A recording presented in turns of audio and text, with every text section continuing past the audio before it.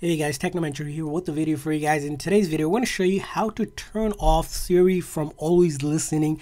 Now, by default, Siri is turned on and it's going to be constantly looking for you to say, Hey Siri, or Siri. As you can see here, it gets activated just like that. And sometimes you might not want that because, you know, as it's listening, it's draining out the battery, or maybe someone says Siri near you, it activates your Siri and causes all sorts of issue. But we're going to show you how to turn off Siri list, always listening, but also show you how to keep it still on or you can activate it if you really need it still. So in order to do that, first thing you're going to do is go into your setting of your iPhone. And from there on, we're going to go scroll down a little bit where it says Siri and search and click on that. And where it says listen for, right? If we want to disable or turn off Siri always listening, we simply turn this off and Siri will not listen anymore for Siri or Hey Siri.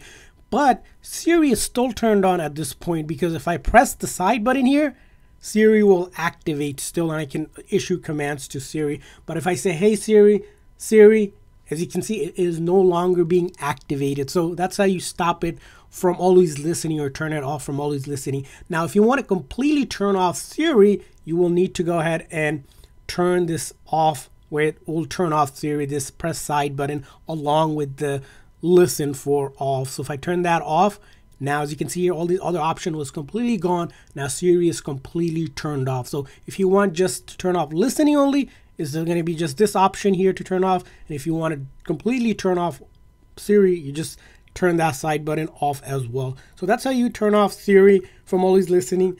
I hope this video was helpful. If so, please consider hitting the like and subscribe button for more tips and tricks for your iPhone and other iOS devices. See you guys next time.